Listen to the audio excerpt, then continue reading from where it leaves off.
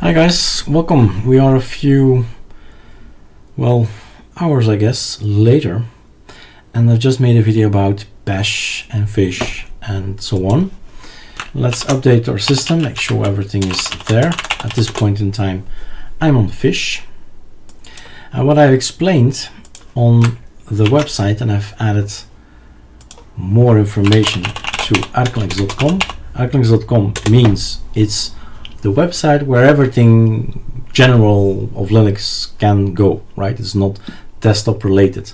So anything about things that are general, like grub is like forever and always and every, every, everywhere, editors and stuff like that. I've added another menu called shell.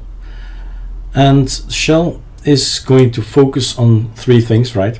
Oh, I need to change the paper, I see. Don't want to have this layout, so that'll change later.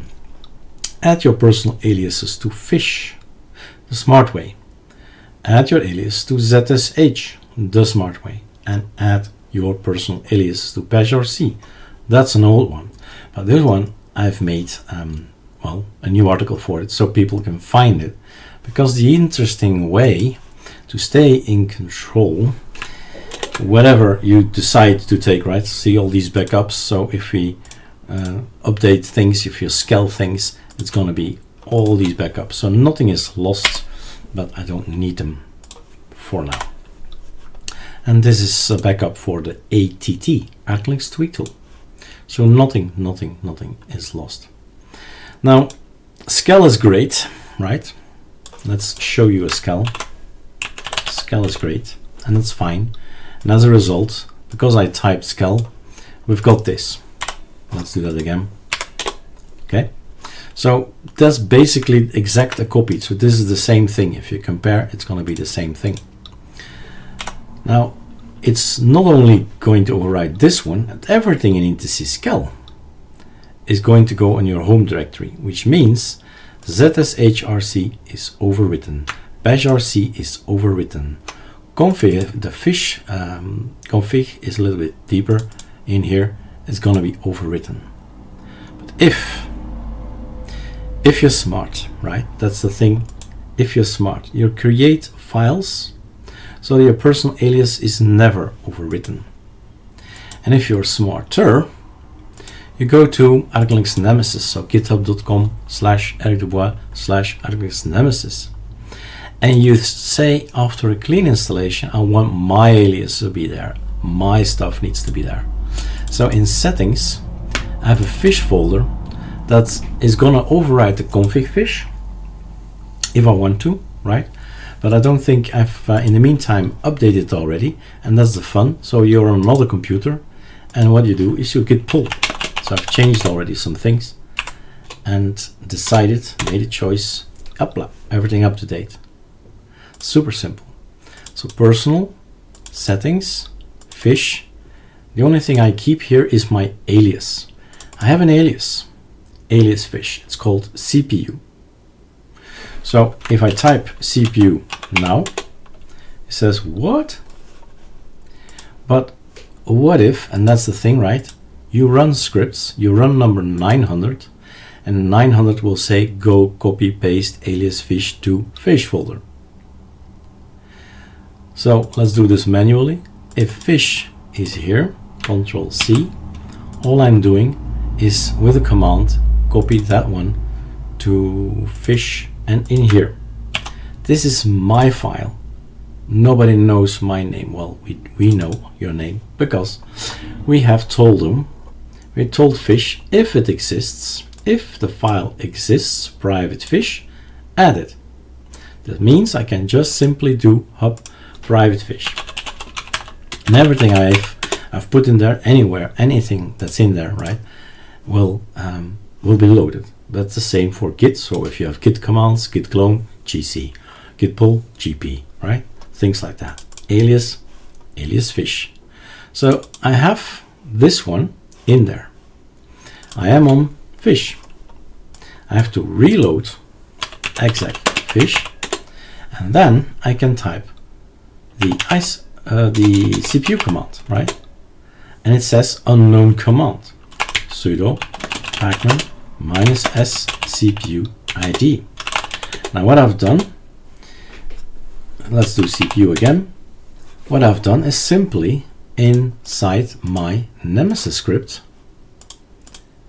inside the 100 install core, I have added sudo pacman minus s no confirm needed CPU ID. So a clean install, run the scripts, I'll have CPU ID, my fish will be there, my alias, my, my proper personal alias will be there. And when I'm on another machine and I want to build a XanMod kernel, I need to know what I'm on. In this case, I'm on an Ivy bridge, and I believe that's the number 35, or Sandy bridge. Mm, yeah, Ivy bridge was 35, and Skylake was 38, right? At some point in time, you remember the numbers that you need for the XanMod build. Where is the XanMod build? Uh, it's a bit deeper, Erik. It's in personal settings, kernel. Have a look, right?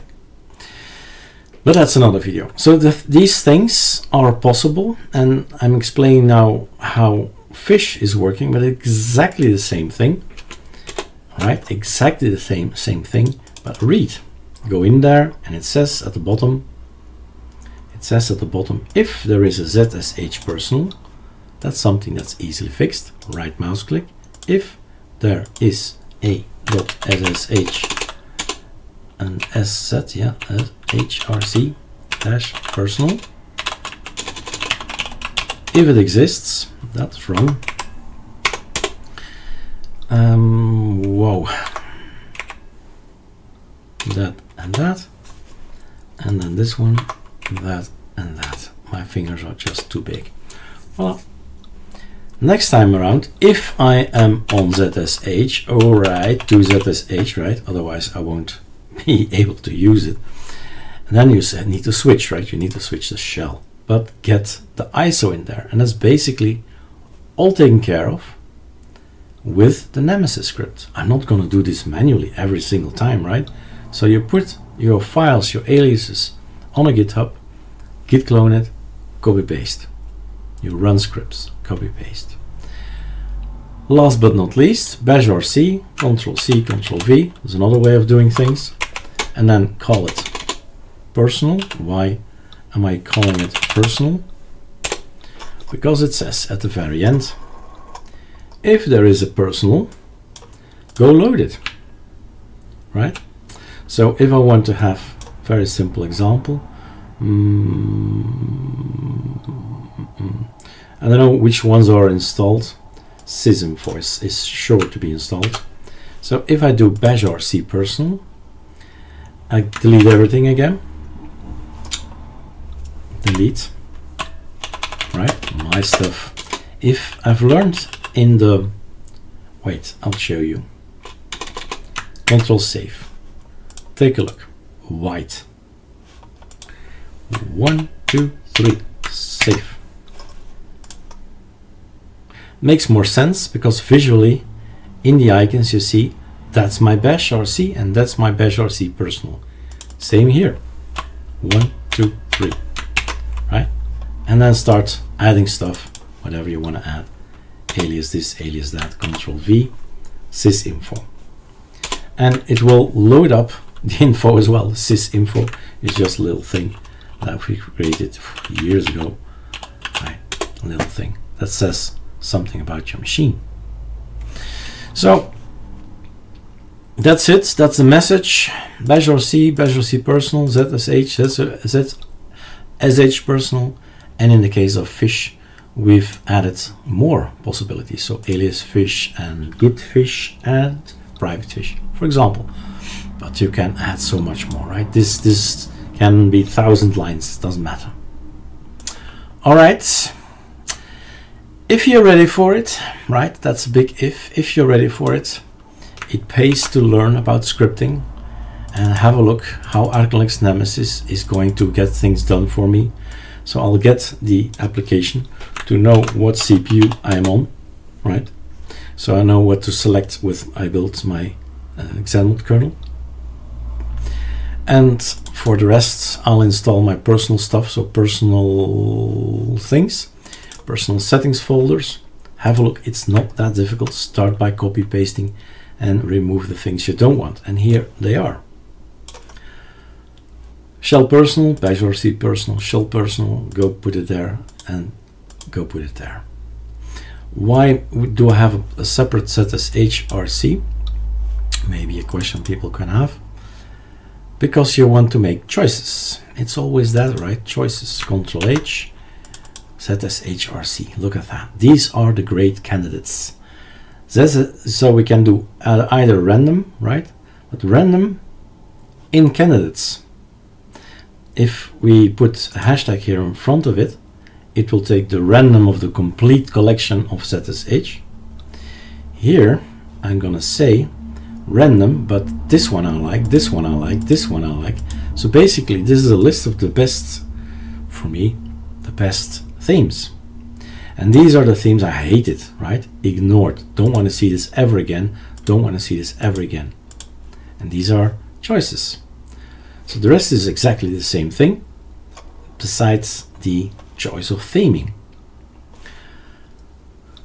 It's flexible, it's Linux, it's fun, but investing some time in bash RC, in knowing these scripts, is will pay off. I'm sure of it. All right, cheers.